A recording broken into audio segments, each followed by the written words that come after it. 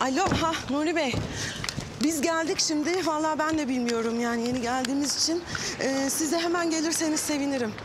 Tamam bekliyoruz o zaman hemen. Tamam. Sağ olun. Üf, Geliyor. Ah Ateş, ah. Sen neye karıştın ki böyle?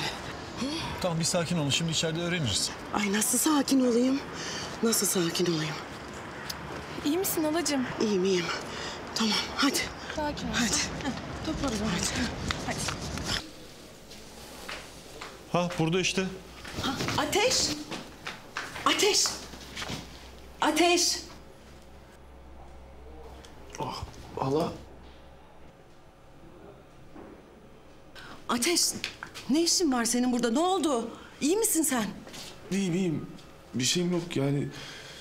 Böyle ufak bir kavgaya karışmış bulundum da. Ufak mı?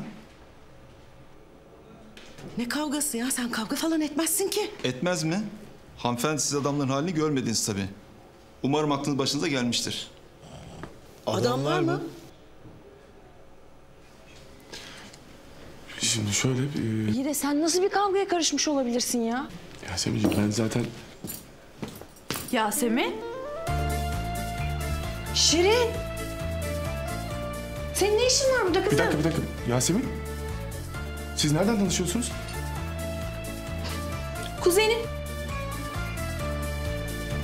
Amcamın kızı. Siz nereden tanışıyorsunuz? Kocan. Kocan mı?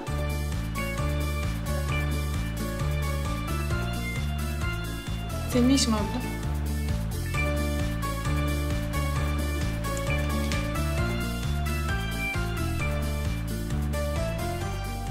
Biz beraber girdik içeri.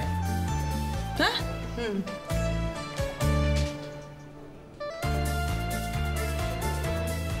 Ya. Biraz karışık bir hikaye ama. Öyle düşündüğünüz gibi değil. Yani ne düşünüyorsunuz bilmiyorum tabii ama. Biz hiçbir şey düşünmüyoruz şu an. Tesadüf yani. Bu hayatta tesadüf diye bir şey yoktur. Vardır ya. Şöyle ben kız arkadaşlarımla dışarıda oturuyordum.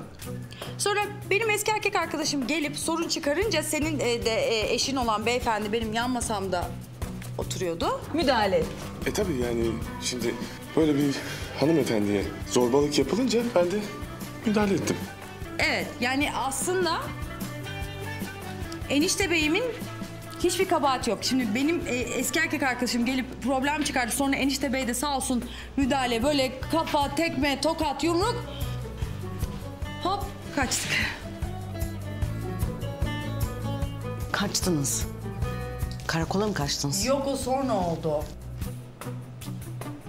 Ee, biz daha tanışmadık bile ya. Değil mi? Evet şey... e, Ateş ben. Şirin ben de. Ben anladım ateşi olduğunuzu enişte. Memnun oldum. Ben de. Öyle.